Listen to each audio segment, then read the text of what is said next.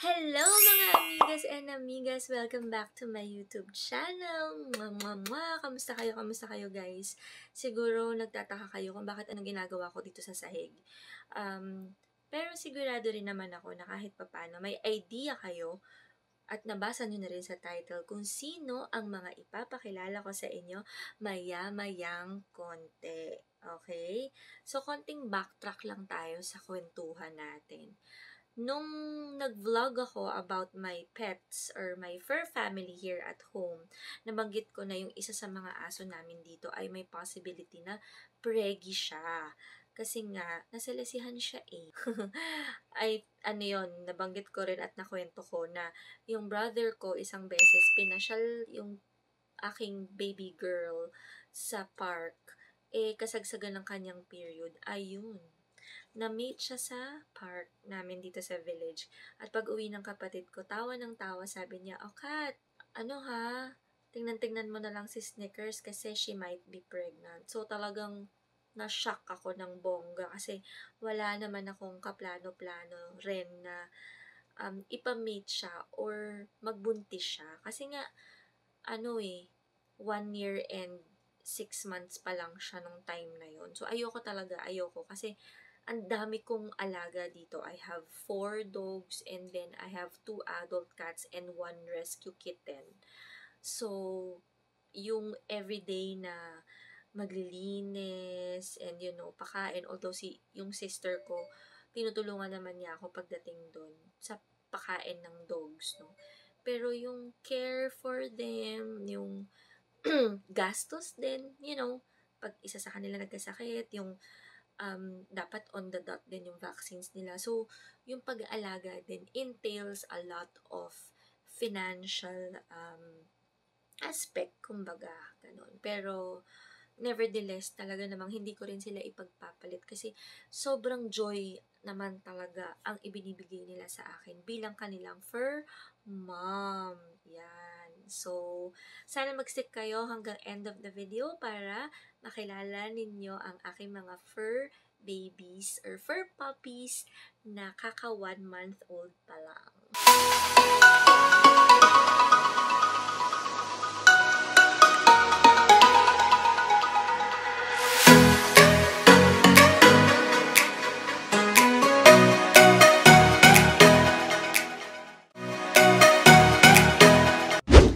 Na nga guys. So, we have four beautiful, cute, super, super adorable puppies. So, we have three females and one male puppy. Yan. So, ipapakilala ko na sa inyo sila isa-isa. Actually, hindi ko na maalala kung ano yung parang form of ano nila, yung kumbaga yung in order nila. Naaalala ko lang na white, brown, white, brown, brown, white.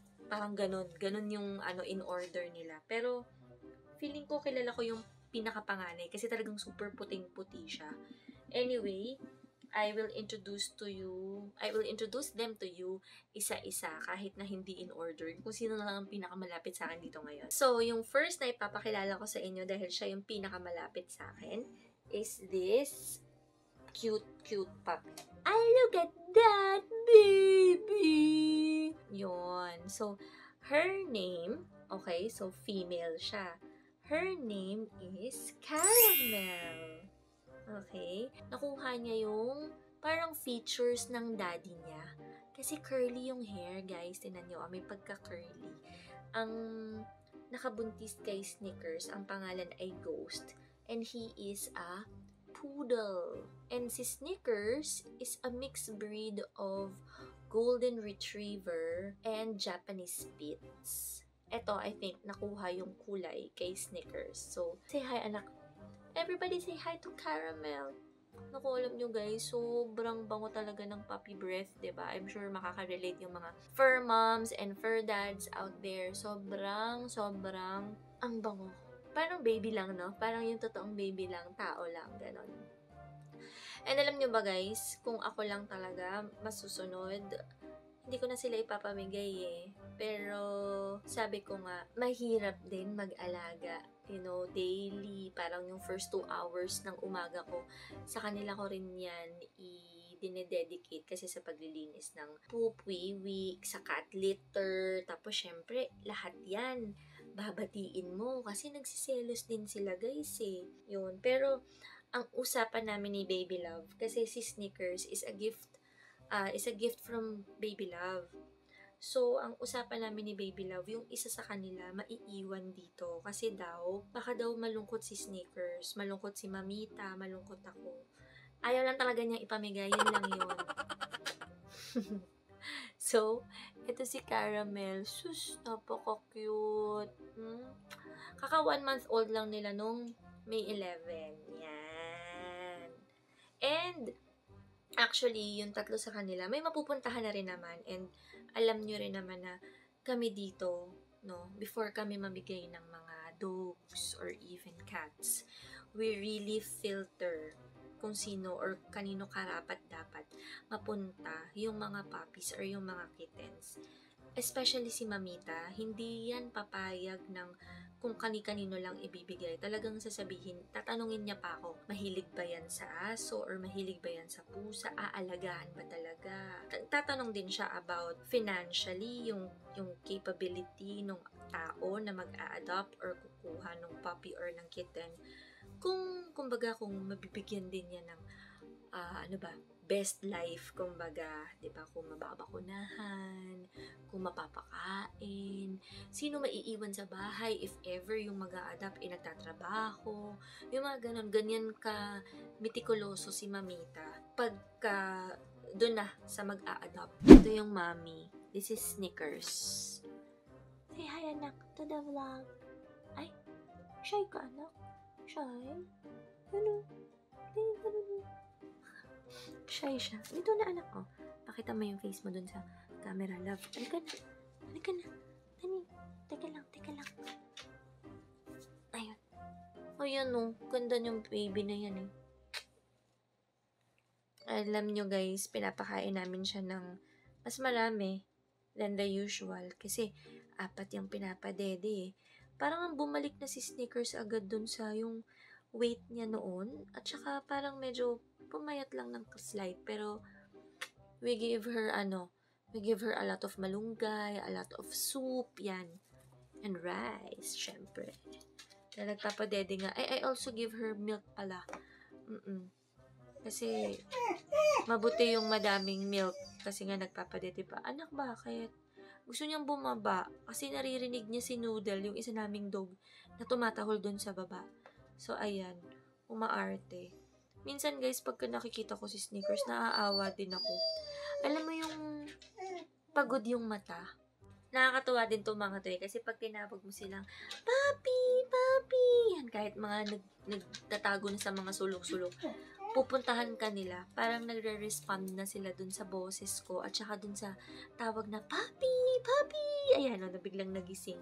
So, I think, etong next, mukhang eto ang panganay. Kasi, ano siya eh, puting-puti. This is a one, a two, a three.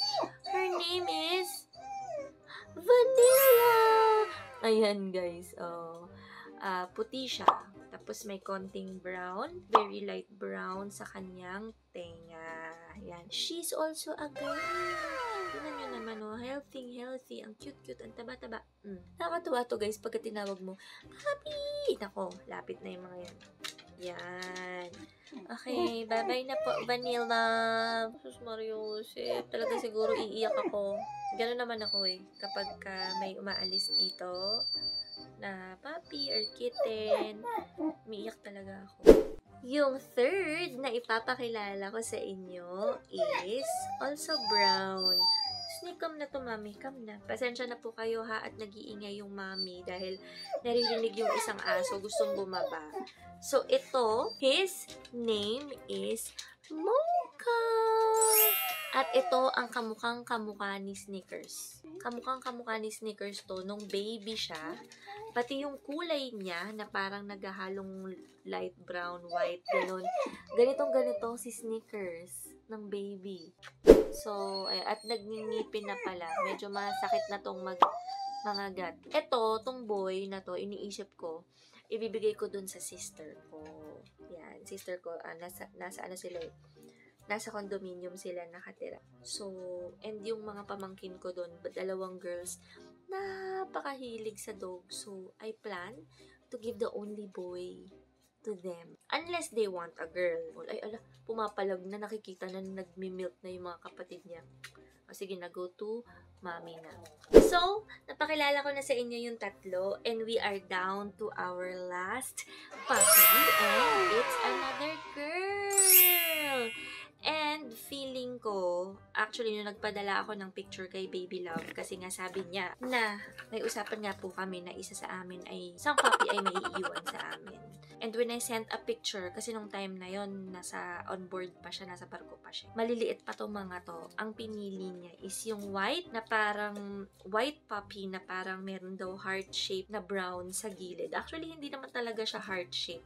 Parang patches of brown. So, papakilala natin siya. Ano nga pangalan mo, anak? Sabi natin, ano nga pangalan mo? Sabi natin, latte. Yun di ba sabi natin, anak, yun ang pangalan mo, latte. Oo, latte. O, pakita muna natin sa kanila. Medyo curly-curly din ang hair nito. Tapos, ayan yung sinasabi ni Baby Love. Ayan o, guys. Ewan ko nakikita nyo. May brown spot. Pero alam nyo, pinag-iisipan namin na gawin siyang marshmallow o kaya s'mores. Kasi ano, meron siyang brown din. Parang yung kapatid niyang isa. Fluffy-fluffy din to. Anak, ano. Di ba, no, girl, ikaw? Ikaw ay girl. Di ba, ano po? Di ba po? Girl. Love you. Ayan na nga, guys. So, thank you for watching until the end of the video. At napakilala ko na nga sa inyo yung ating apat na bagong fur puppy. Sana nag-enjoy po kayo uh, to meet all of them. And sobrang nag-enjoy din po ako na ipakilala sa sa inyo sila. Ayan, o, oh, ginugulo na ako ng mga to. Anyway, guys, another, and parang, this has always been my reminder, no? Even dun sa previous vlog ko uh, about nung when I was introducing my pets to all of you. Please, please, please be responsible.